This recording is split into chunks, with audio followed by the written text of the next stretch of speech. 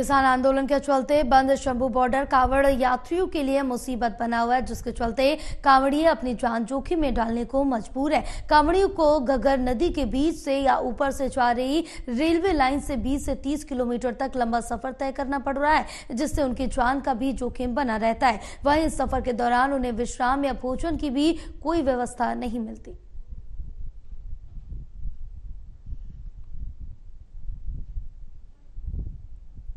भोलेनाथ की, बोले, शंकर भगवान की है बोले, हम आ रहे हैं हरिद्वार से कावड़ यात्रा चल रही है, जैसे सबको पता है। हम भी लुधियाना से गए थे, हरिद्वार से कावड़ यात्रा लेके आ रहे हैं, जल लेके आ रहे हैं। लेकिन जब वापसी हम अम्बाला की तरफ़ से लुधियाना जा रहे थे, शंभू बॉर्डर पे आते ही, शंभू बॉर्डर बिल्कुल क्रॉस है किसानों की वजह के कारण। आने वाले लाखों श्रद्धालु पंजाब को कावड़ी आती है बहुत बहुत बुरी तरह परेशान है।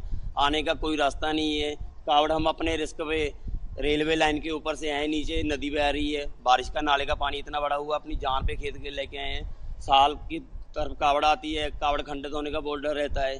हम इतनी ऊपर से घूम के आ रहे हैं घनौरी पटियाला की तरफ़ से बाइक लेके आए। देखो, हम बाइक उधर से लेके हमारी बाइक भी नहीं आने दी। कम से कम पैंतीस चालीस किलोमीटर का फ़र्क पड़ गया। अगर ये सरकार थोड़ा ध्यान दे देती इस तरफ़ के लिए तो थोड़ा एक रास्ता खुलवा देती सिर्फ़ कावड़ियों के लिए तो उसके लिए बहुत बहुत ज़्यादा मेहरबानी होती। मेरा नाम सर नितिन है, हरिद्वार से कावट लेके आए हैं, लुधियाना जा रहे हैं। क्या कुछ समस्या हुई है? समस्या ऐसी हुई है कि बॉर्डर बंद है ही उधर से आए हैं लेन, लाइनों के साथ साथ ऊपर से। फिर आपको पता डर भी लगता है खंडितों ने इतनी दूर से लाए हैं। इसलिए सर। नीचे नदी भी बह रही है। नीचे बह रही है सर नदी। डर तो सर लगता ही है इतनी दूर से लाए हैं। रास्ता भी ऐसा है।